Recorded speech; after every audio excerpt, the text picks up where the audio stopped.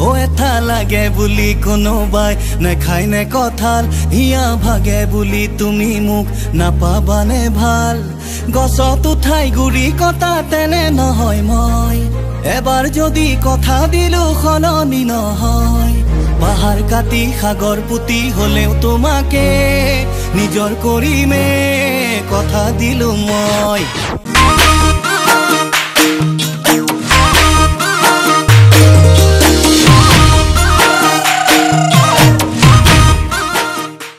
বন্ধুসকল মই বিতুপন গগৈ আপোনালোকক পুনৰ পৰা স্বাগতম জনাইছোঁ আমাৰ ইউটিউব চেনেল চিনাকিলৈ।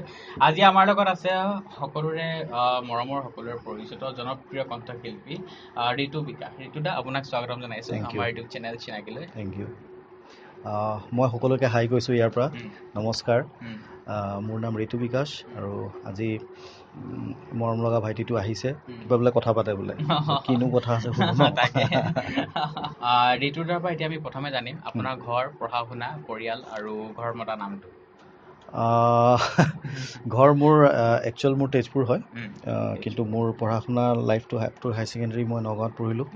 মই কে ভি নগাঁৱৰ ষ্টুডেণ্ট আছিলোঁ। তাৰপিছত মই গ'লোঁ দৰং কলেজ।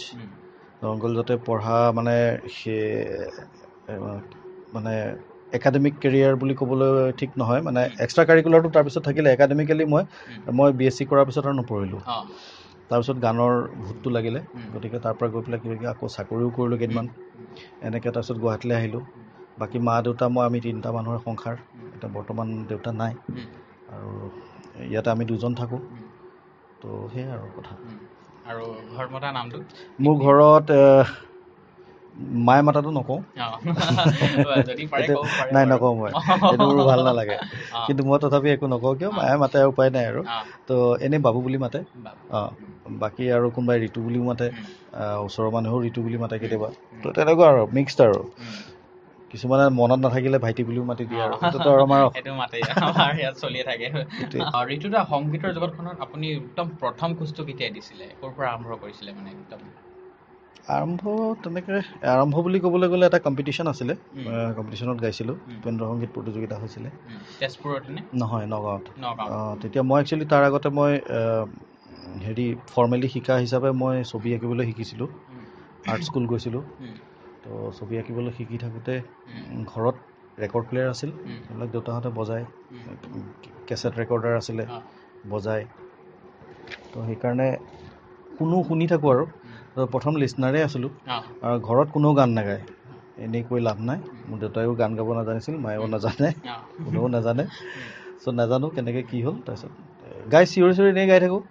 তাৰপিছত দাদা দুজনে শুনি পেলাই দেউতাক ক'লে বোলে ইয়াক হেৰি কৰি দিওঁ কম্পিটিশ্যনত গোৱাওঁ। তো তেতিয়া খুব ডাঙৰকৈ এটা কম্পিটিশ্যন হয় নগাঁৱত ভূপেন্দ্ৰ সংগীত প্ৰতিযোগিতা সদৌ অসম ভিত্তিত। অঁ, তাত মানে সদৌ অসম মানে সঁচাকৈ সদৌ অসম। তাত। বাহিৰৰ পৰা হেৰি কেণ্ডিডেটছবিলাক আহে। তিনিদিনমান কম্পিটিশ্যন হয়। গভৰ্ণমেণ্ট বইজত থাকে। গভৰ্ণমেণ্ট খুলি দিয়ে পূৰা তাতে। ডেস্ক যোৰা দি পেলাই মানুহে আঁঠুৱা তৰি তাত থাকি পেলাই কম্পিটিশ্যন কৰে। চ' ইটছ মানে চাবলগীয়া বস্তু এটা আছিল। তো তাত গালোঁ আৰু মই নগাঁৱতে থাকোঁ। তেওঁলোকে বজাই মেলি দিলে। তেতিয়া তাত মই মানে থাৰ্ড প্ৰাইজ পালোঁ। থাৰ্ড প্ৰাইজ দেই। পাওঁতে আৰু কোনো পাবলগীয়া নায়েই মানে কোনো। কথাই নাই আৰু। কোনেও এক্সপেক্ট কৰা নাই যে পাব কিবা এটা। পোৱাৰ পিছত সেইদিনাখন তাৰমানে জুনিয়ৰ শাখা থকাৰ কাৰণে নেক্সট হেৰিটোত আকৌ মোক ৰাতিলে মেইন ফাংচনত প্ৰাইজ ডিষ্ট্ৰিবিউশ্যনৰ দিনাখন মোক গাব দিলে। সেই আৰু তাত গালোঁ। গোৱাৰ পিছতে চবেই দেউতাক ক'লে বোলে ক্লাছিকেল শিকাওক। যে বেছিক মানে ফৰ্মেল এডুকেশ্যনটো সেইটো শিকিলোঁ তাতে নগাঁৱতে। শিকি পেলাই তাৰপিছতে ষ্টাৰ্ট হ'ল তাৰপিছত স্কুল কমপ্লিট হ'ল কমপ্লিট হোৱাৰ পিছত দৰং কলেজ আহিলোঁ। তাত তিনিবাৰ বেষ্ট ছিংগাৰ হ'লোঁ। হোৱাৰ পিছতে তাৰপিছত যে শ্ব'জ কৰা কথাটো তাৰপিছৰ পৰা আৰম্ভ হৈছে। দৰং কলেজৰ বেষ্ট ছিংগাৰ আছিলে। হয়। তিনিবাৰ। তিনিবাৰ। মই হেট্ৰিক কৰিছোঁ। মানে তেতিয়াৰ পৰা এই যাত্ৰা অব্যাহত ৰাখিছে আৰু। উম, মানে প্ৰফেশ্যনেলি নাছিলে। অঁ, প্ৰফেশ্যনেলি পিছত ল'লোঁ। আৰু একদম বেছিকৈ হৈ গ'ল গুৱাহাটীলৈ অহাৰ পিছৰ পৰা। তেতিয়া মই টু থাউজেণ্ড ফ'ৰত আহিছোঁ। 2004 আহিছে। ফ'ৰত আহিছোঁ। সেয়াই আৰু তেতিয়াৰ পৰা কৰি আছোঁ। চলি আছে এনেদৰে চলি যাওক। তাকে। আমি কামনা কৰোঁ থেংক ইউ ঋতুদা এই সংগীত জগতখনলৈ অহাৰ বাহিৰেও মানে সৰুতে আপোনাৰ কিবা বেলেগ চাকৰি কৰাৰ কিবা ইচ্ছা আছে প্ৰত্যেকৰ এটা সপোন থাকে যে সৰুতে। মই পুলিচ চি আই ডি এনেকুৱা ধৰণৰ কিবা কাম কৰিলোঁ হয়। নহ'লে ডিটেক্টিভ এনেকুৱা টাইপ কিবা কৰিলোঁ হয়। মোৰ তেনেকুৱা ধৰণৰ ইচ্ছা আছিল। প্লাছ মই মই ড্ৰাইভ কৰি বহুত ভাল পাওঁ। তো মোৰ ড্ৰাইভাৰ হোৱাৰো ইচ্ছা আছিল। মিছা কথা কৈ কি লাভ আছে? ডাক্তৰ ইঞ্জিনিয়াৰ চাইণ্টিষ্ট হ'ম বুলি কৈ লাভ নাই যিটো ভাবিছিলোঁ সেইটোৱে কৈছোঁ। যে মই গাড়ী চলোৱা মানুহবিলাক খুব চাই থাকোঁ তাৰমানে। আগতে এ এছ টি চি বাছত গ'লে আমাৰ চিটটো পিছত থাকে। মই মানে মই মই সেইখিনিতে থিয় হ'ম। এনেকুৱা ৰেলিং দিয়া থাকে। মই এনেকৈ থিয় হৈ চাই যাওঁ মানে কেনেকৈ গিয়াৰটো লগালে। কি কৰিলে। তো। সেই পেশ্যনটো কিয় নাজানো আছে আজিও আছে। মই গাড়ী চলাওঁতে তেনেকৈ চলাওঁ এতিয়াও। তেতিয়া মই ছিংগাৰ টিংগাৰ নহয় মই ড্ৰাইভাৰে হৈ যাওঁ হাণ্ড্ৰেড। পাৰ্চেণ্ট ড্ৰাইভাৰ হৈ যাওঁ। তো মই তেনেকৈ সেইটো ভাল পাওঁ মানে। সৰুৰ পৰা গাড়ী লৈয়ে খেলিলোঁ মোৰ খেলনা এতিয়াও আছে পোন্ধৰ। বিছখন গাড়ী আছে ঘৰত জিন্দা গাড়ী চলে কিন্তু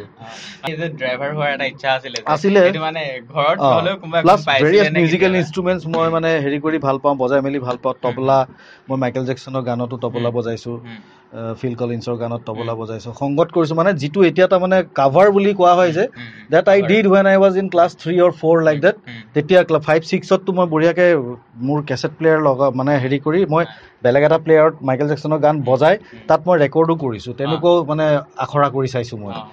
সেইবোৰ ঘৰৰ বাহিৰত ইমান ওলাই নাযাওঁ। তো ভিতৰতে এইবিলাক দেউতাই তাবলা এযোৰ আনি দিছিলে। বাকী হাৰমনিয়ামখন চব গানতে বজাওঁ। এনেকুৱা ধৰণৰ কিছুমান নিচা আছিল। তো সেই সেই দিশতে গৈ গৈ এতিয়া তেনেকুৱা ধৰণৰ হেৰি এতিয়া এৰেঞ্জমেণ্ট কৰোঁ সেইকাৰণে ভাল পাওঁ আৰু।